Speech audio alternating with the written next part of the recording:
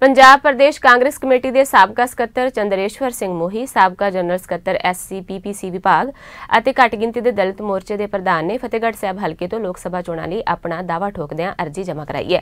ਉਹਨਾਂ ਕਿਹਾ ਕਿ ਉਹ 2007 ਤੋਂ ਪਾਰਟੀ ਲਈ ਲਗਾਤਾਰ ਕੰਮ ਕਰ ਰਹੇ ਨੇ। ਉਹਨੇ ਇਹ ਵੀ ਕਿਹਾ ਕਿ ਕੈਪਟਨ ਅਮਰਿੰਦਰ ਸਿੰਘ ਦੀ ਅਗਵਾਈ ਹੇਠ ਕਾਂਗਰਸ ਪੰਜਾਬ ਵਿੱਚ ਸਾਰੀਆਂ ਲੋਕ ਸਭਾ ਸੀਟਾਂ ਜਿੱਤੇਗੀ। ਉਹਨਾਂ ਨੇ ਪ੍ਰਿਯੰਕਾ ਗਾਂਧੀ ਵਾਡਰਾ ਅਤੇ ਜੋਤਿਰ ਚਿੰਡਿਆ ਦੀ ਏਆਈਸੀਸੀ ਦੇ ਜਨਰਲ ਸਕੱਤਰ ਵਜੋਂ ਨਿਯੁਕਤੀ ਦੀ ਸ਼ਲਾਘਾ ਕੀਤੀ। ਉਹਨਾਂ ਕਿਹਾ ਕਿ ਇਹ ਨਿਯੁਕਤੀਆਂ ਪਾਰਟੀ ਨੂੰ ਮਜ਼ਬੂਤ ਬਣਾਉਣ ਵਿੱਚ ਸਹਾਈ ਹੋਣਗੀਆਂ।